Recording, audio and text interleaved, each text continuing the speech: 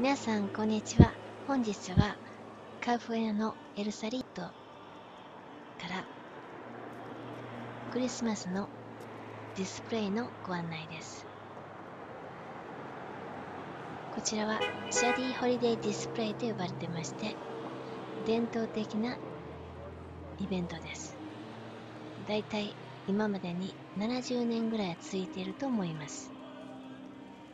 こちらのディスプレイを見るためにいろんなとこから人々がやってきます。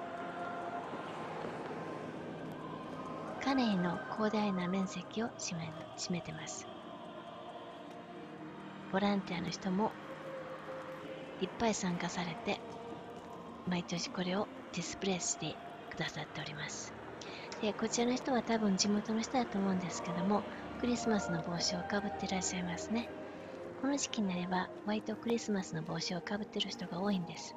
まあ、寒いということもあるんですけども、まあ、クリスマスはアメリカの中で一番の出来事ですので、イベントですので、みんなウキウキしてます。で、もうじきサンセットが訪れます。アメリカ人はサンセットが割と好きです。すごくロマンチックだと思ってます。ただいまだいたい4時45分ぐらいでしょうか。綺麗なサンセットをお楽しみください。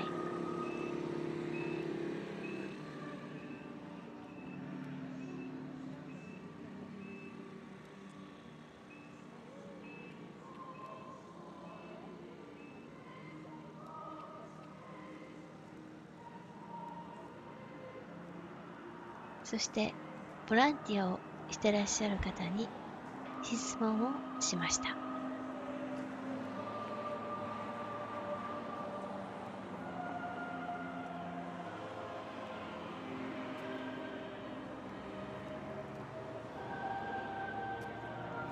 質問その1全部で羊は何匹いるのでしょう？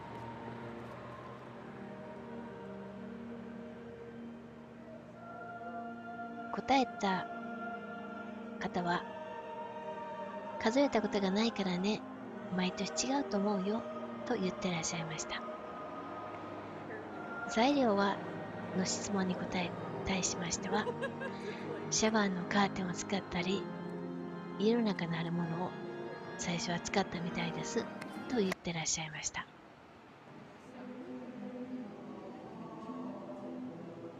70年前だからどんなものを使ったんでしょうね。耐水性に優れたものを使ったものだと考えられます。で、どこにどれを置くって決まってるんですか？の質問に対しては、うん、置いてたらだんだんそれによって変わるからという感じで言ってらっしゃいました。今年は去年に比べて2箇所変わったよとも言ってらっしゃいました。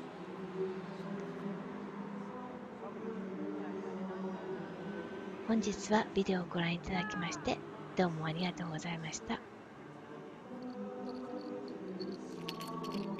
アメリカからいろいろ日常に行えるビデオを撮ってアップロードしております。